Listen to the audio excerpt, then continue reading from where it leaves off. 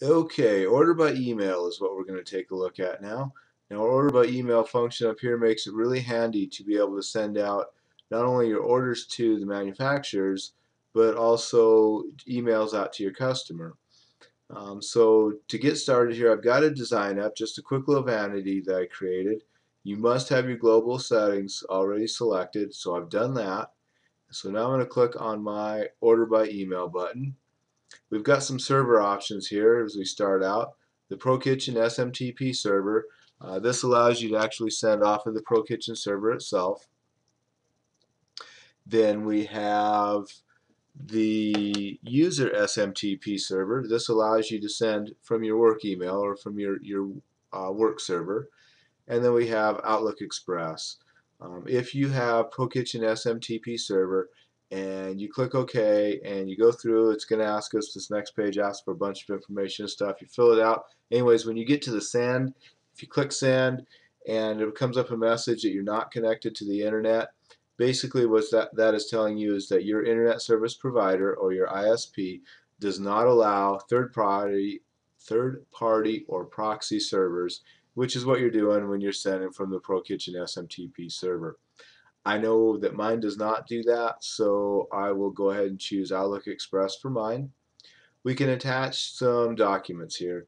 We can attach the current design. That may be important to when you're sending to the manufacturer. You can also attach the current design showroom file. Uh, you'd use this if you were sending to a customer or you can attach the current design iPhone, iPad, Android file RVD.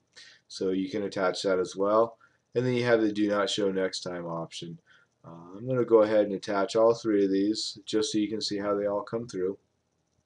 You know, I'm just going to do two of them so you can kind of see here, give us a little difference.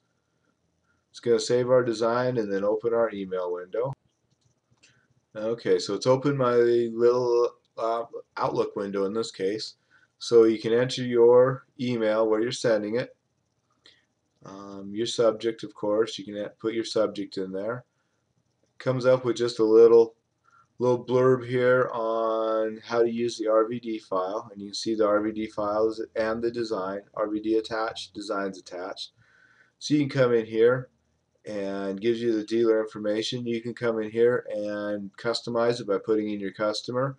Um, if you are attaching the RVD or the showroom files You'll probably want to leave the message in here, but you can just you know enter down so it's at the bottom of the message. Um, anyways, enter your message to whomever and click send to shoot it on out. I'm not going to click send because it's not going to go anywhere. And that is order by email.